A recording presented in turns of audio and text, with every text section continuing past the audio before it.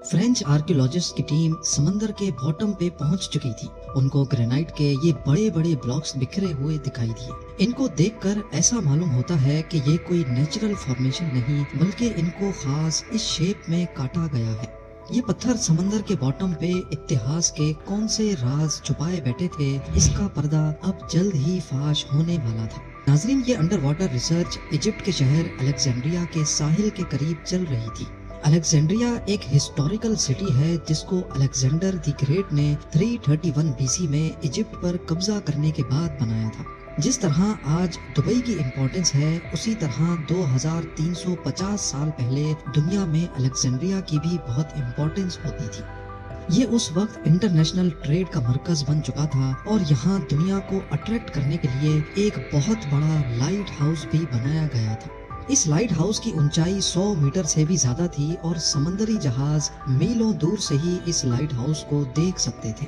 आहिस्ता आहिस्ता ये light house Alexandria की शान और कदीम दुनिया का सातवां अजूबा माना जाने लगा। इसके साथ साथ इसकी एक और अहमियत भी थी। ये दुनिया में बनाया जाने वाला सबसे पहला लाइट हाउस भी था।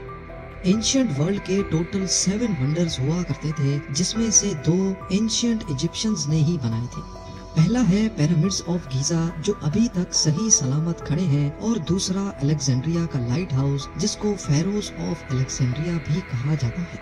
ये उस दौर में दुनिया के लिए एक बिल्कुल अनोखी चीज़ थी। लाइमस्टोन और ग्रेनाइट के पत्थरों से बना ये एंशियंट इंजीनियरिंग के जेवर का दर्जा रखता था। पर आज अलेक्जेंड्रिया के साहिल पे हमें ये लाइट हाउस नहीं नज़र आता। इसकी मौजूदगी का सबूत तो हमें हिस्ट्री की चंद किताबों में मिलता है, लेकिन इसकी असल तस्वीर या फिजिकली ये कैसे दिखता था, इसमें अलग अलग हिस्टोरियंस की अपनी राय है। कुछ कहते हैं कि ये समंदर में 50 किलोमीटर दूर बना हुआ था तो कुछ का ख्याल है कि ये इतना ऊँचा था कि ऊपर से गिरने वाला पत्थर दो दिनों बाद नीचे आता था। हुआ कुछ यूँ था कि इजिप्ट की ये नई सरकार आहिस्ता आहिस्ता कमज़ोर पड़ गई। अलेक्जेंड्रिया का मशहूर जमाना लाइट हाउस लवारिस हो गया और वक्त के साथ मेंटेनेंस ना होने की वजह से इसकी कंडीशन खराब होती चली गई। जहाँ ये बना था, वहाँ समंदर ने कब्जा करके इसकी फाउंडेशन को खोखला बना दिया। फिर ईयर 1480 में, यानी आज से करीब साढ़े पाँच सौ साल पहले, एक ताकतवर अर्थक्वेक ने इस लाइट हाउस को उखाड़ कर समंदर में बिखेर दिया। 1700 साल शान शौकत से खड़ा रहने वाला लाइट हाउस ऐसे गायब हुआ जैसे ये कभी बना ही नहीं था। जैसे जैसे वक्त गुजरता गया अलेक्जेंड्रिया लाइट हाउस की हिस्ट्री भी धुंधली होती गई। और आज ये हिस्टोरियंस और आर्कियोलॉजिस्ट के लिए एक मिस्ट्री बना हुआ है। ऐसा माना जाता है कि ये समंदर के इस हिस्से में खोया था, जो आज अलेक्जेंड्रिया बंदरगाह की एंट्रेंस है। फ्रेंच आर्कियोलॉजिस्ट की एक टीम इस गुत्थी को सुलझाने के लिए पिछले 20 सालों से मेहनत कर रही है। अब उन्होंने समंदर के अंदर जाकर अंडर वाटर इमेजिंग टेक्नोलॉजी की मदद हासिल करने का फैसला किया। इनका मकसद सिर्फ़ एक ही था कि कैसे भी करके लाइट हाउस के ओरिजिनल शेप और डिज़ाइन को डिजिटली दोबारा बनाया जाए। समंदर के सरफेस से कई फुट नीचे उनको ग्रेनाइट के बड़े बड़े ब्लॉक्स बिखरे हुए दिखाई दिए। इनकी साइज़ और शेप देखकर ऐसा लग रहा है कि ये कोई नेचुरल फॉर्मेशन नहीं, बल्कि इनको खास काटा गया है। ये ब्लॉक्स वाकई में अलेक्जेंड्रिया लाइट हाउस का हिस्सा है। ये साबित करना काफ़ी मुश्किल है, क्योंकि जैसे आपने पहले जाना हिस्ट्री में लाइट हाउस के डिज़ाइन में काफ़ी टकराव पाया जाता है। ये जानने के लिए आर्कियोलॉजिस्ट ने फोटोग्रामेट्री टेक्नोलॉजी को इस्तेमाल करने का फैसला किया। इनमें हज़ारों लाखों फ़ोटोज़ को कंप्यूटर ग्राफिक्स की मदद से थ्री वीडियो में कन्वर्ट किया जाता है। 28 हफ्तों की डाइविंग और 50,000 फोटोग्राफ्स लेने के बाद आर्कियोलॉजिस्ट के पास अब इतना डाटा इकट्ठा हो चुका था कि इसको 3D मॉडल में कन्वर्ट किया जा सके। 600 सालों में पहली बार अलेक्जेंड्रिया लाइट हाउस के मलबे का 3D मॉडल से मुआयना किया जा रहा था। इस मलबे में तीन हज़ार ब्लॉक्स थे जो करीब तीन एकड़ के एरिया पर फैले हुए थे। इसमें स्टेचूज की फाउंडेशन और बड़े बड़े पिलर्स भी शामिल थे।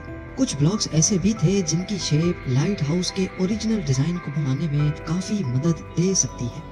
पर ये काम इतना आसान भी नहीं है। कंप्यूटर ग्राफिक्स की मदद से ही सही, लेकिन इन तीन हज़ार ब्लॉक्स को जोड़ना एक जायंट पजल को सॉल्व करने जैसा है। इस मलबे का एक बहुत बड़ा हिस्सा किसी वजह से साहिल पे ही पड़ा है। पर ये है क्या चीज़? आर्कियोलॉजिस्ट का मानना है कि ये लाइट हाउस के दरवाजे के पिलर्स लगते हैं। जब पानी के नीचे पड़े मलबे पर गौर किया गया तो ऐसे ही दो पिलर्स वहाँ भी पड़े दिखाई दिए। ऐसा महसूस होता है कि ये सब एक ही दरवाजे के अलग अलग पीसेज हैं। इन पिलर्स के थ्री मॉडल को कंप्यूटर ग्राफिक्स की मदद से जब जोड़ा गया तो हैरत अंगेज तौर पे ये बिल्कुल ठीक से एक दूसरे में फिट हो गए। इन ग्रेनाइट ब्लॉक्स के बीच में शायद लकड़ी का दरवाज़ा हुआ करता था। 600 साल पहले तबाह हो जाने वाले अलेक्जेंड्रिया लाइट हाउस का दरवाज़ा कुछ इस तरह दिखता था। इसकी ऊंचाई 41 फीट जबकि वज़न करीब 200 टन से भी ज़्यादा है।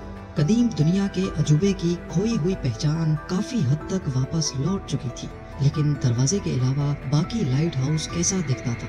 आर्कियोलॉजिस्ट की टीम ने इस राज से पर्दा उठाने के लिए कोशिशें जारी रखी। उन्होंने उस जगह का दौरा किया जहाँ लाइट हाउस खड़ा होता था। यहाँ अभी एक बड़ी बिल्डिंग खड़ी है जिसको क्विक वे फोर्ट कहा जाता है। ये साल 1477 में बनी थी लाइट हाउस के गिरने के सिर्फ़ 42 सालों के बाद। खुशकिस्मती से इस फोर्ट के अंदर एक दिलचस्प इशारा मिला। इस फोर्ट की मस्जिद का डिज़ाइन ऐसे ही है जैसे किसी लाइट हाउस का होता है। इस बात के काफ़ी चांसेस हैं कि जिन्होंने ये फोर्ट और मस्जिद बनाई थी, उन्होंने अलेक्जेंड्रिया लाइट हाउस को ट्रिब्यूट देने के लिए वैसा ही डिज़ाइन बनाया था। बेशक इसका साइज़ उतना बड़ा नहीं, पर इसके अंदर का मंजर किसी कदीम लाइट हाउस के जैसा ही लगता है। तो क्या अलेक्जेंड्रिया लाइट हाउस वाकई ऐसे ही दिखता था? इस थ्योरी को साबित करने के लिए थ्री मॉडल को हिस्ट्री की किताबों में पाई जाने वाली इंफॉर्मेशन से मैच किया गया। ईयर 1325 में मोरक्कन स्कॉलर इब्ने बतूता ने लिखा था कि लाइट हाउस की दीवारों की मोटाई 10 स्पेन्स है। उस दौर में किसी भी चीज़ को हाथ की साइज़ से मैयर किया जाता था। अंगूठे से लेकर छोटी उंगली तक एक स्पेन कहलाता है। हाथ का एक स्पैन करीब आठ इंचेस बड़ा होता है, यानी दस स्पैन छह फुट सात इंचेस बनते हैं। हैरत अंगेज तौर पे थ्री मॉडल से बनाए गए लाइट हाउस के दरवाजे में जब दीवारें ऐड की गई तो उनकी मोटाई ठीक छह फुट दस इंचेस बनती है। 700 साल पहले इब्ने बतूता की बताई हुई साइज़ से सिर्फ़ तीन इंचेस बड़ी। आर्कियोलॉजिस्ट को एक बहुत बड़ा ब्रेक थ्रू मिल चुका था। इसका मतलब था कि इब्ने बतूता की लिखी हुई अलेक्जेंड्रिया लाइट हाउस की डिस्क्रिप्शन के सही होने के चांसेस काफ़ी ज़्यादा हैं। उनकी लिखी गई डिस्क्रिप्शन के हिसाब से जब लाइट हाउस के बकाया हिस्से का थ्री मॉडल बनाया गया तो सब ये देखकर हैरत सदा रह गए ये वैसे ही दिख रहा था जैसे क्विट बे फोर्ट की मस्जिद आज दिखती है। अलेक्जेंड्रिया म्यूज़ियम में रखे स्टेचूज लाइट हाउस के दरवाजे पर खड़े कुछ इस तरह दिखते थे। 330 फीट ऊँचा ये लाइट हाउस किसी दौर में दुनिया के ऊँचे तरीन स्ट्रक्चर्स में शुमार होता था। इसके टॉप पर लोहे से बने आईने लगे थे जो दिन में सूरज की रोशनी को रिफ्लेक्ट करते थे, जबकि रात के वक्त इसके अंदर आग लगाकर बहरी जहाजों को रास्ता दिखाया जाता था। अलेक्जेंड्रिया लाइट हाउस के हवाले से एक्सपर्ट्स का अंदाज़ा बिल्कुल सही साबित हुआ। लाइट हाउस तबाह होने के 42 सालों के बाद क्विट बे फोर्ट के बिल्डर्स ने ट्रिब्यूट के तौर पे मस्जिद का डिज़ाइन अलेक्जेंड्रिया की शान लाइट हाउस के डिज़ाइन पे रखा था। उम्मीद है कि ये वीडियो भी आप लोग भरपूर लाइक और शेयर करेंगे। आप लोगों के प्यार भरे कमेंट्स का बेहद शुक्रिया। मिलते हैं अगली शानदार वीडियो में।